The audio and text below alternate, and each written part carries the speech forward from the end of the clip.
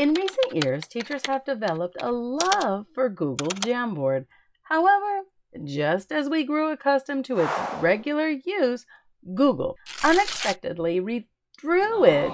Disappointing, right? But do not worry, I've got you covered with an even better option. Don't worry about it. I'll be with you every step of the way. Free! Canva Whiteboard is your Jamboard alternative with more possibilities than you could ever imagine. Canva's new whiteboard feature surpasses Jamboard, promising instant engagement for your students. Now let me show you how exciting and easy this new whiteboard feature is in Canva. I'll also go over some things I learned while using it in my classroom. Hello, I am Mrs. P. Tarleton. I'm here to help you work smarter and not harder. Let's dive in. So let's head on over to canva.com. Now, if you do not have your free teacher account, what are you waiting? Absolutely free. If it's free, it's for me. Once you are logged into your Canva dashboard, you come up here to create a design, or you can go right in here.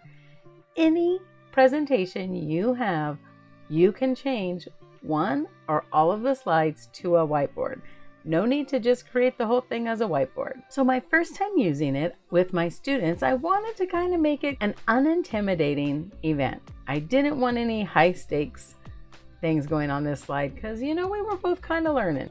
After I created my slide deck, I went ahead and shared it with my class. Go right here to the share button, share it to your students through Google Classroom or whatever your classroom management system is. Go ahead, you go through your presentation just like you normally would.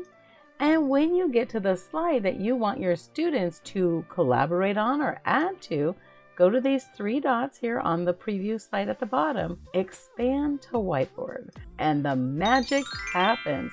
This page is now a whiteboard. Okay, I told you it was better than Jamboard, and let me show you why. Everything over here on the left side that you can do in a Canva slide, you could also do here. You are not limited to just post-it notes and little things like that. Anything you can do in Canva, your students can do right here on this slide. So I asked them where would they like to go and why. And the students started popping in their suggestions, their ideas of where they want to go.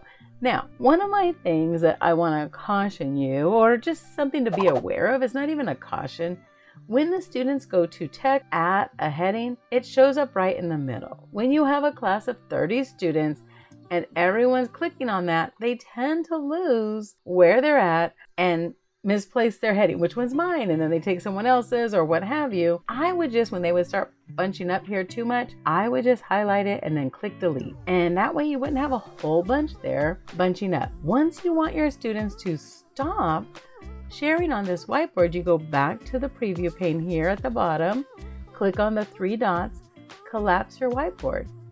Students can no longer edit this whiteboard. Now, another caution I want to show you is here. Go through the rest of your slides because you have to give your students editing access and you want to lock your pages.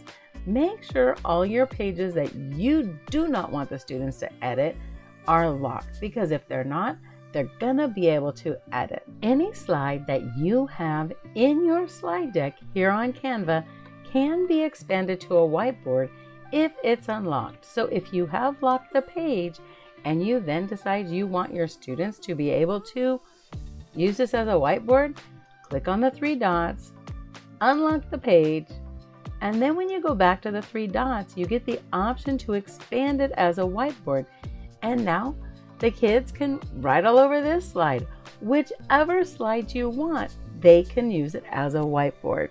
I found this to be very engaging. The students absolutely enjoyed it and they were very, very engaged. What do you think? Isn't this the best alternative to Jamboard? And it's free. It's absolutely free for teachers. Let me know in the comments if this is going to help you with replacing Jamboard. Remember, step out, be uniquely wonderful you, and have a great day.